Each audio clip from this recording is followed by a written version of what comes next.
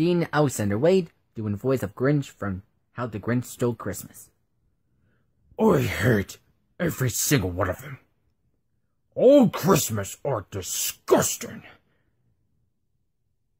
So I'll steal the presents.